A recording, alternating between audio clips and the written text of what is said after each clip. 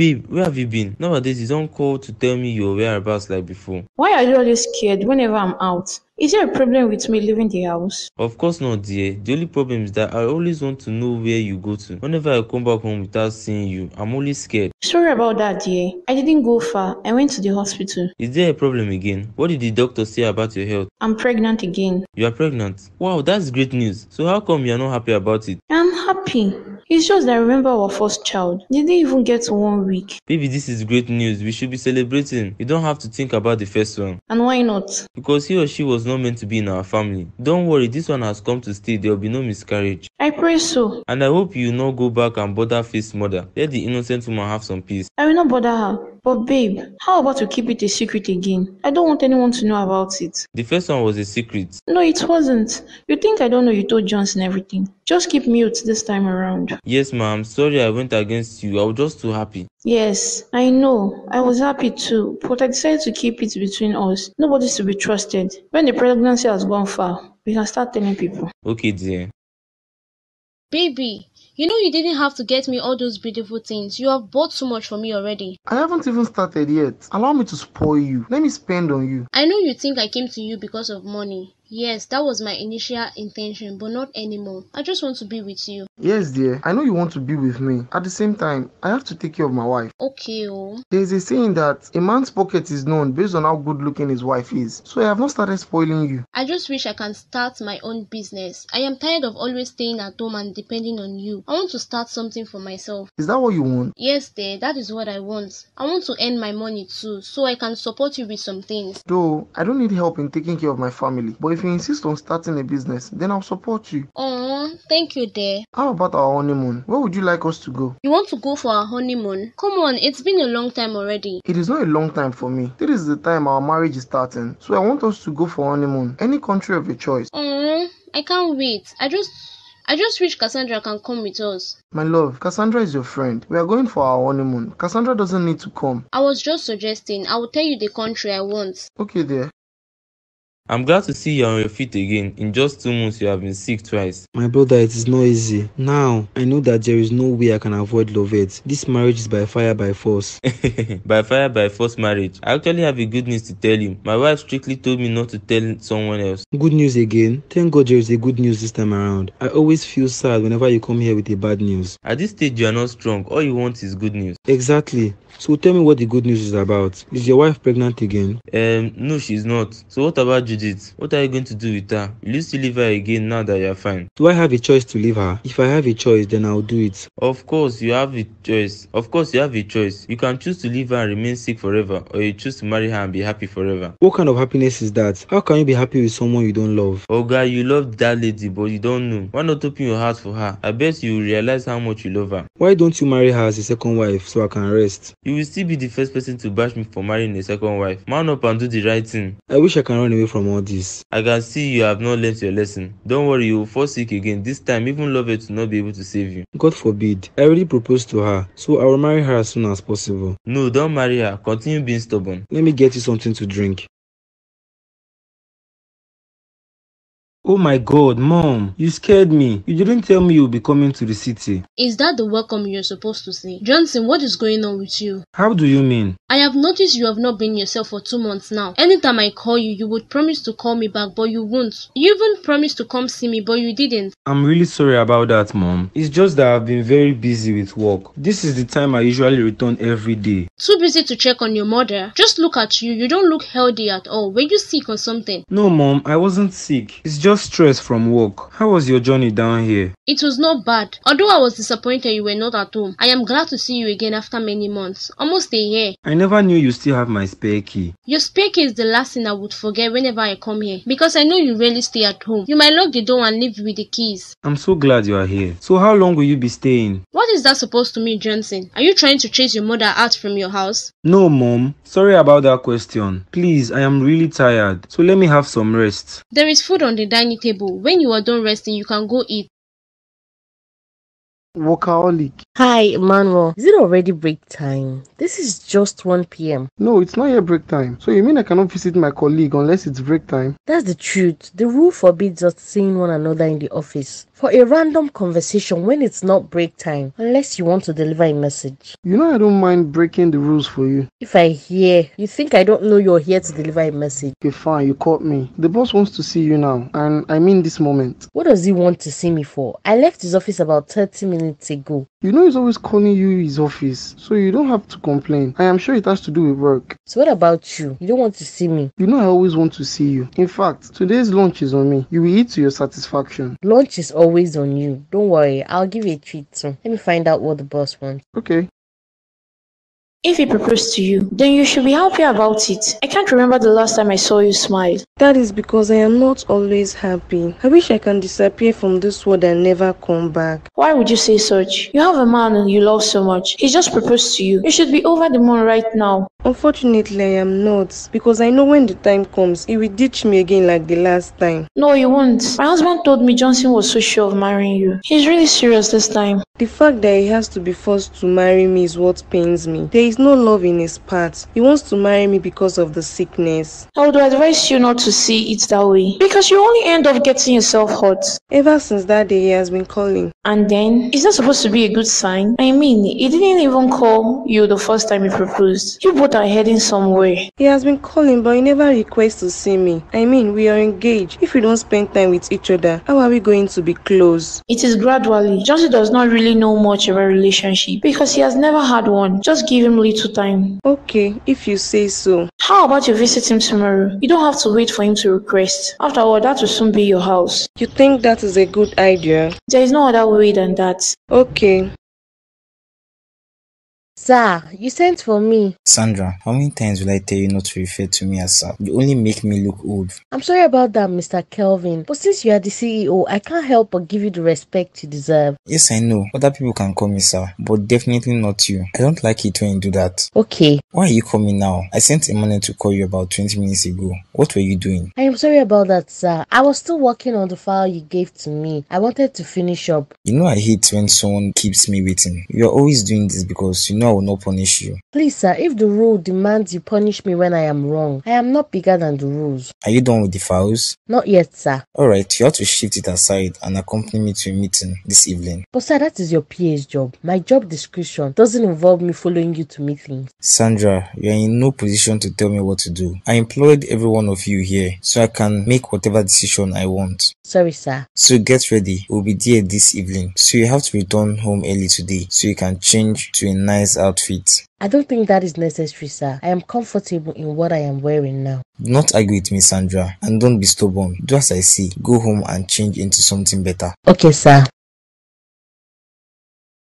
Good afternoon, ma. Good afternoon to you too. Who are you? Um, my name is Lovett. I am here to see Johnson. I guess you're Johnson's mother. Yes, I am Johnson's mother. Are you his colleague from work? I thought he took a day off today. No, ma'am, not his colleague from work. It's surprising that Johnson did not tell you about me. Johnson and I are engaged. You must be joking with me. My son never told me anything about being with a woman. The typical Johnson. He is always trying to run away from the truth. The truth is that Johnson and I are meant to be together and we are engaged. Are you sure about this? I am very sure, ma. He proposed to me and I accepted his proposal. I guess he just wants to take things slow. Oh my god, I am so happy to hear this. Please have a seat, my dear. You don't have to stand in your husband's house.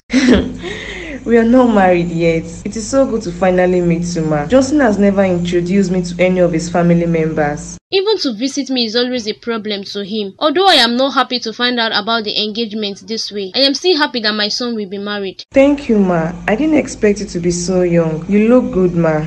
Thank you, my dear. Let me get you something to drink. Good evening, Mom. Good evening, my son. How was church today? It was fine, Ma. I prayed for you. I am so hungry and exhausted. I hope you prayed for your fiancé too. What are you talking about? What fiance? Stop pretending, Johnson. Why are you hiding your engagement from me? Lovette came visiting in the afternoon and she told me everything. Everything like what? Everything like how you have not been treating her well. I don't need any explanation from you because naturally you are boring. So you and Lovette talked about me all through today. Why didn't she call me before coming to my house. Why would she call you? She has every right to be here whenever she wants. In fact, I will return this key to her before I go back. Mom, please stop. You know how much I love my privacy. I don't like it when someone comes whenever they want. Johnson, you have to start seeing her as your fiancée. If you don't love her, why then are you both engaged? That is not what I am saying. Allow me to handle everything myself. Now that I know you are engaged, you will not handle everything yourself. You need to get married as soon as possible. Not too soon. Go and freshen up while I set the table. Baby, are you still crying?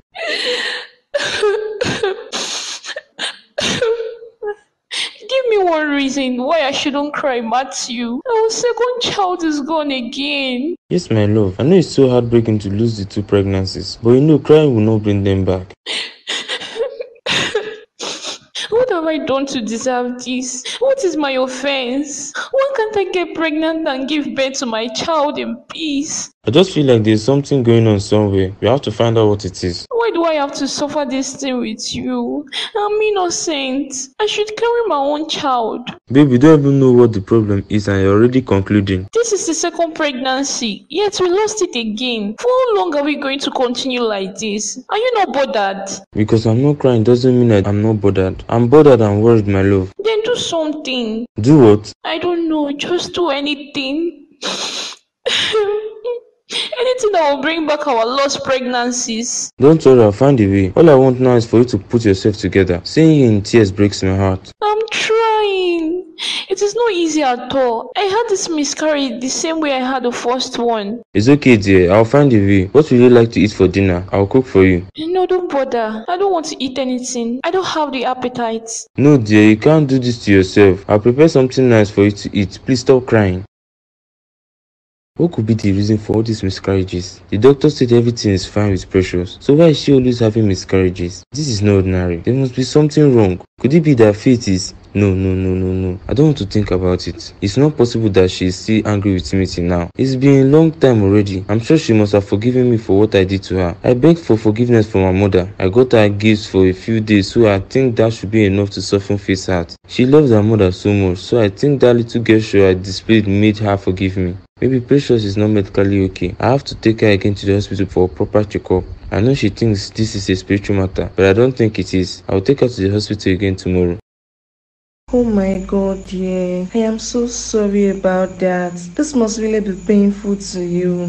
Yes, it is very painful. I don't even know what to do anymore. I cry day and night, yet things remain the same. Have you gone for checkup? You both should go to the hospital for checkup to know what exactly is wrong. That was what we did yesterday. My husband insisted I should run a test on myself to be certain everything is fine. We ended up doing it together at the hospital. The doctor confirmed that we are medically okay. Then what could be the reason for those miscarriages? Even the doctors were confused why a child is not able to grow in me. I'm scared it. Why? Is there something you think is wrong? I've been having strange dreams few days. Many times I wake up sweating and panting. Tell me about it. It is always a woman with marks chasing me in my dream. Whenever she catches up with me, she stabs my tummy with her sword. How many times have you had the dream? About four times. The last time I had that dream was when I had my last miscarriage. There is something wrong, Precious. I would advise you you don't overlook whatever you see in your dream. You should consult a man of God. You think it will work? Are there still people to interpret dreams? Someone clearly is after your life. Just tell your husband to see a pastor. I will pray for you as well. Thank you, dear.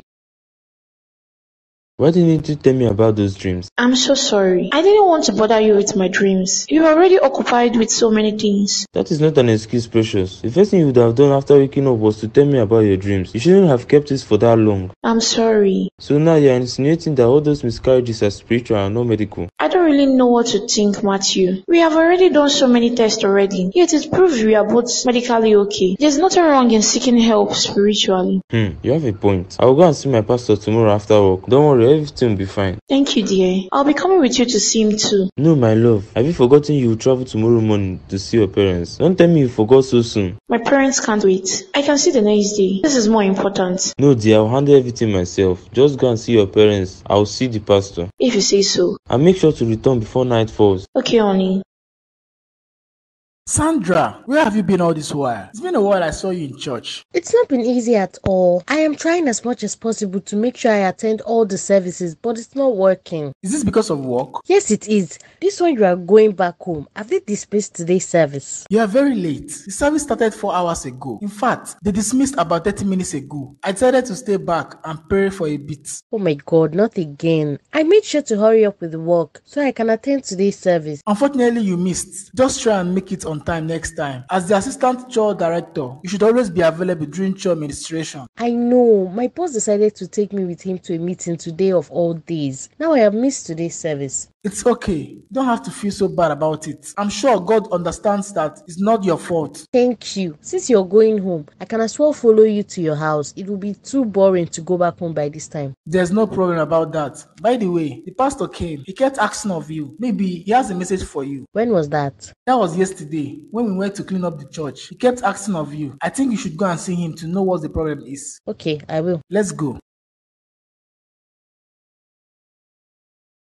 Good morning, Mom. Good morning, my son. Uh-uh, you're all dressed. Where are you heading to this early morning? I'm going to work, Mom. I'm already 10 minutes late, so I have to be on my way. You cannot go to work now. I have been waiting here for you to wake up, only for you to come out from your room all dressed. This is the normal time I go to work. I already made breakfast for you. Go and wait at the dining room while I bring your Thank you so much, Mom, but I am not hungry. I will have breakfast when I get to the office. So you are choosing a stranger's food over your mother's food? What do you mean by you will eat breakfast when you go to work? Who will cook the breakfast for you? The reason I don't want to eat now is because of time, and you are delaying me. Okay, oh, since you don't want to eat my food, I hope Lovette will come today so she can prepare dinner for you. Mom, Lovette is just my fiance. I am not yet married to her. So when I'm married to her, we can talk about her making dinner in my house. If she does not cook for you, how will we know? How will we know she knows how to cook? Whether she knows how to cook or not, I will still marry her. I have to go now. I am already late. One more thing. Tell her I want to see her today. I have some things to discuss with her. We don't work together. She works in a different company. So there is no way I will see her today to pass the information. But you have her phone number. You can call her and pass the message to her. Make sure that girl is in this house. Have a nice day, ma. I have to go now.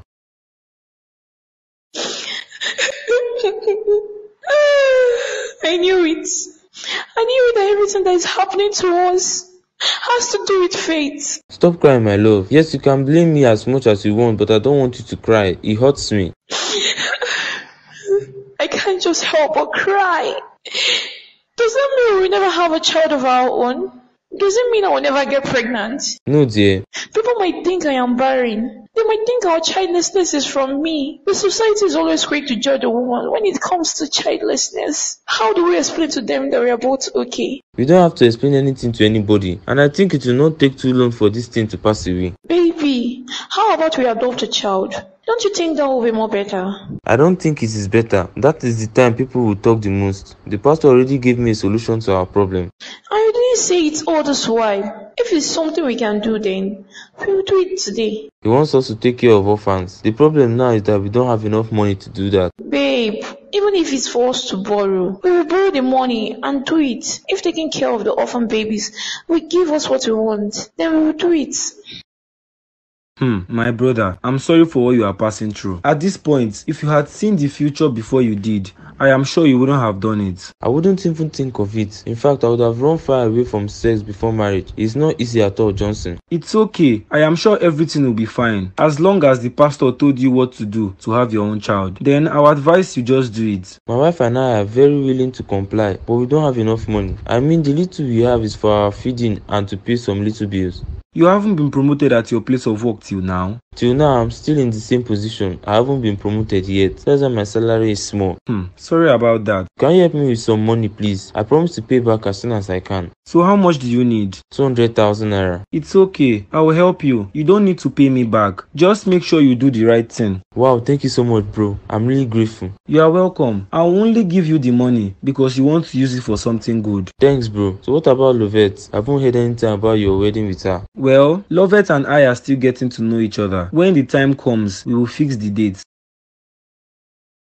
Emmanuel, you know you don't always have to bring me to an eatery all the time. This time around, it's my turn to pay. Oh, come on, Sandra. Didn't I tell you to forget about your lunch as long as you work here? I always make sure you are well fed before you go home. I have worked here for a very long time and I don't even have the thoughts to quit anytime soon. For how long will you continue this? For as long as I want. Please don't reject my offer of always wanting to have lunch with you. Who will say no to such offer? I just feel indebted to you. Thank you so much for all these treats. I hope to pay you back someday. You're you're already paying me back. You let me see your face every day. That is the only thing I want. Okay then, deal. Friend will be having a birthday party tomorrow. Would you like to attend with me? I want to go there, but I can't go alone. A birthday? Actually, it is a very wrong timing because I have choir rehearsals tomorrow after work. I don't want to miss it for anything in the world. So can't the main choir director stand in for you? No, she can't. She already called to inform me she wouldn't be there tomorrow because she's not feeling too well. So as her assistant, I have to take it up for her. It is okay. I am really sad that you won't be able to come, but it's fine. I guess we'll go together next time. Yes, we will. I have to go back to the office. Our lunch break is over. It is time for work. Okay, wait a minute. Let me see the waiter.